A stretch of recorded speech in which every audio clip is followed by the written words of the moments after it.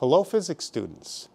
In this video, we're going to be doing an experiment analyzing a series circuit.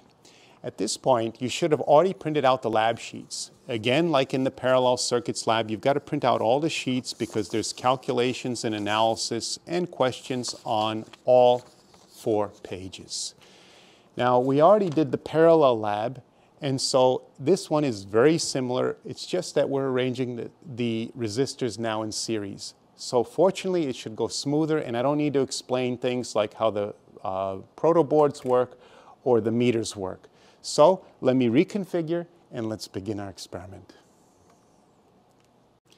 As in the parallel circuits lab, we have to begin by first measuring the resistances of our three resistors. So I'm going to configure this meter to measure ohms. I'm thereby making it an ohm meter by turning this to 2000 ohms. Let's see.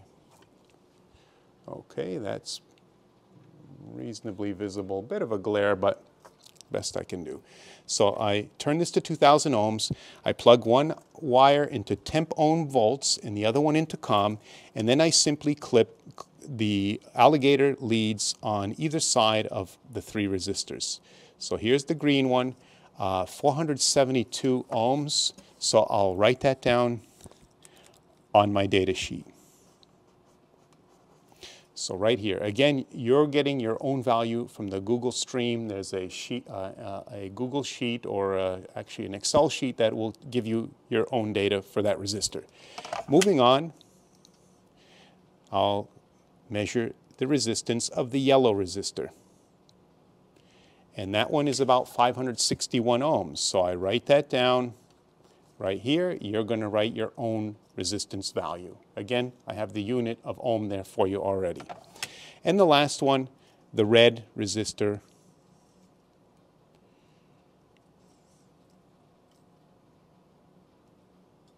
And I have approximately 680, oh, this one's like, likes to flush, 683 maybe.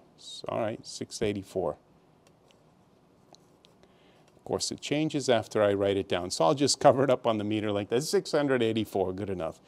Okay, so now what I need to do is uh, it says to, um, I did step one there, and then connect my resistors in series by plugging them into this board. So remember, in parallel, the last experiment, I put them all side by side, and that made a parallel circuit. But now I have to make a chain to make a series. So I'm going to unplug this and I'm going to begin my chain even with the red wire right there. Again, it doesn't matter if I plug the green over here to here or right next to the red wire, all of these holes underneath are connected together. And so now the electricity, you could think of it as getting to this point, and that's where the next resistor has to go to pick up the electricity where the green wire left off. So I could put the yellow over here, or I could have put it there or there or there. Either way, it's connected in series with that green wire. Now we need the red resistor, the third resistor, to pick up the electricity in any one of these five holes. So why don't I continue the theme of creating, leaving those gaps by plugging in way over here. There, that works because the electricity will go under the board and reach the red one here and then come here and charge these holes up. Now I need to complete the loop to my power supply by connecting this yellow to any one of these holes. Right there is fine. The electricity goes in through the green one, then the yellow one, then the red one, and back, and I have a series circuit, a chain of electricity uh, by the breadboard. All right, so uh, what I'm going to do and now that I have it uh, connected in series, I'm going to calculate REQ using the formula over here. So we learned a formula for calculating the equivalent resistance of three, of three resistors in series. Again, you need the calculation nice, like we always show them in physics, with all the right things in the form in the calculation too. So we have an REQ value. And then we're going to measure and compare with what the meter says. So I'll go ahead and switch to, to the probe wires. Again, I could have used the alligator wires, This would have worked just fine. Okay, so I connected temp ohm volt, so I want ohms, so, so I'm going to connect there.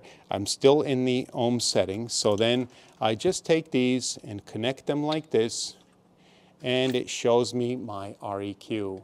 Mm, looking like it's steady at 1700 ohms, 1700 ohms.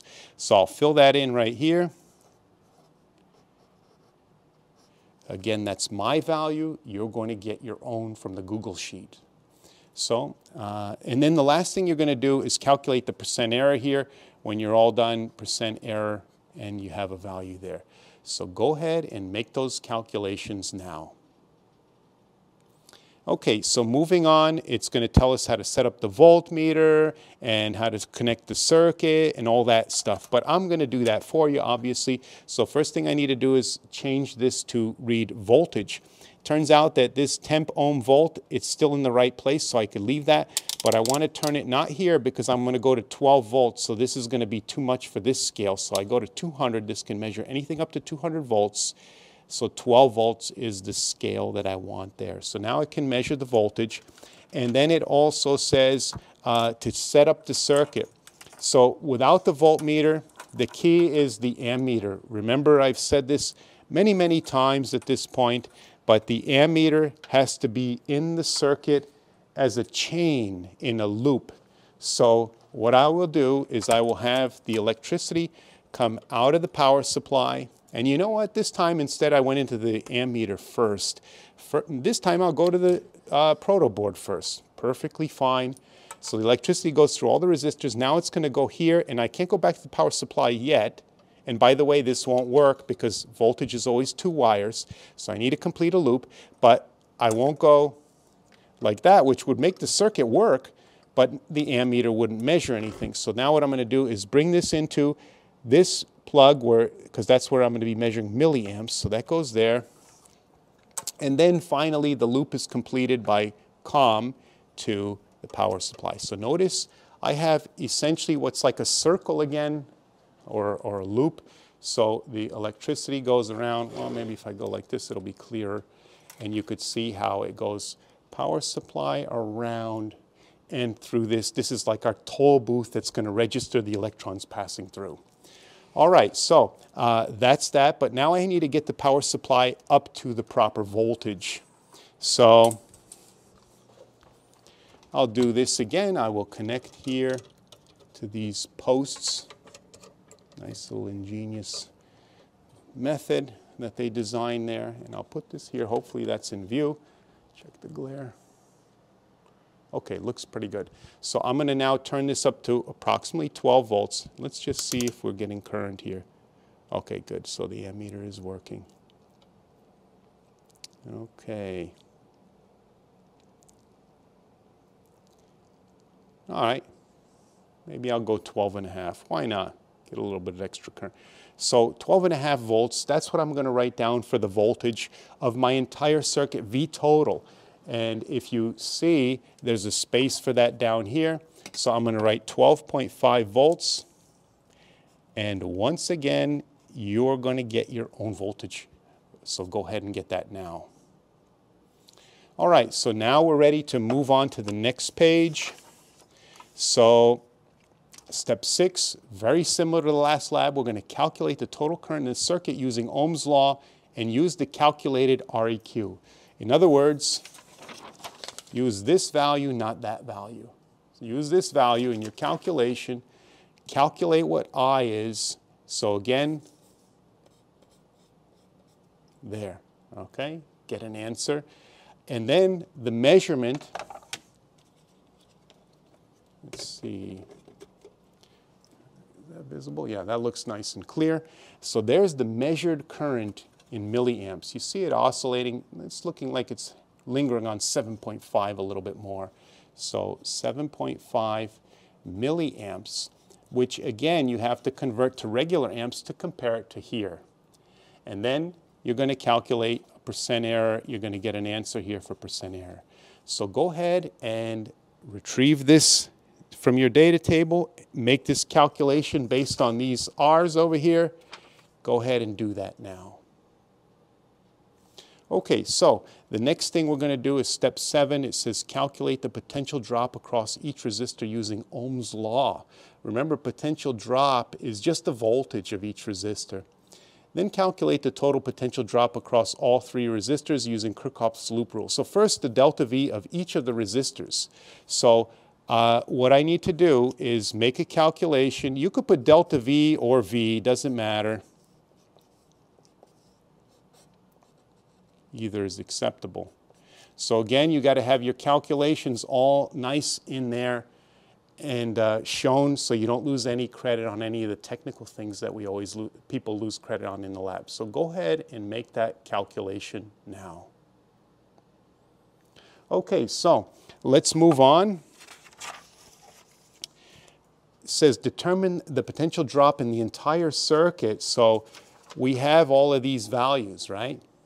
How do you take these numbers and find the total voltage drop? So you do the calculation here as you're always supposed to with all the parts that you need to not lose any points on the lab. And you have V total here calculated out. And then you do a percent error. Now, percent error with what? Well, remember, you've got a volt, v, volt, v total here that you calculated, but all the way on the first sheet, you have the percent error that's, I mean, the, the, the voltage that was measured from the power supply. So that's what you can do percent error on. So go ahead, calculate this, and now calculate percent error with the value you retrieve from the Google Sheet right here.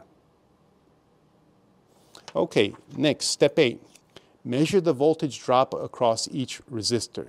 Simply take the meter set to volts uh, and firmly press the probe ends on each resistor and record the values in the following boxes. So I'm going to take the, uh, the meter probes off of the power supply and, and now I'm going to measure the voltage of each of the resistors. So let me move this so not too confusing. So how do I get the voltage of resistor 1? All I need to do is take these two probe wires and put them on either side of resistor 1.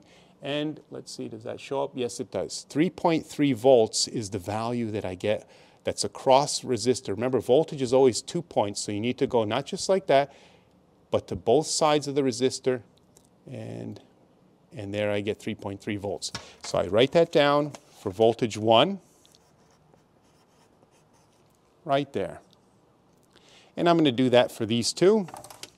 The second resistor right here, oops, 4.0 volts, okay?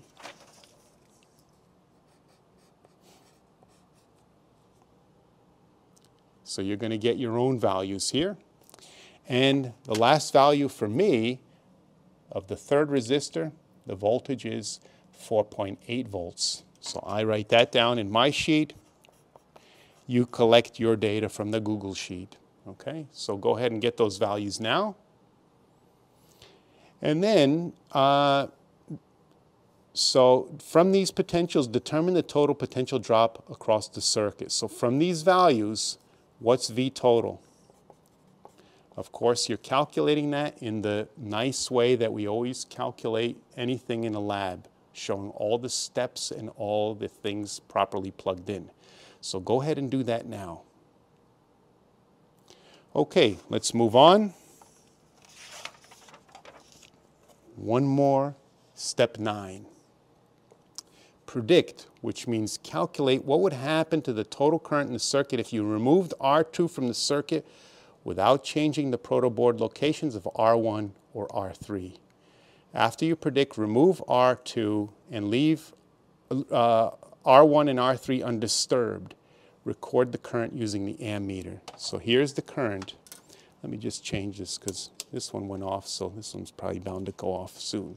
So this is no longer necessary. I'm going to pull this out. Just yank it straight up. What's this going to become? Go ahead and make that prediction here. What is I equal to? Go ahead and do that now.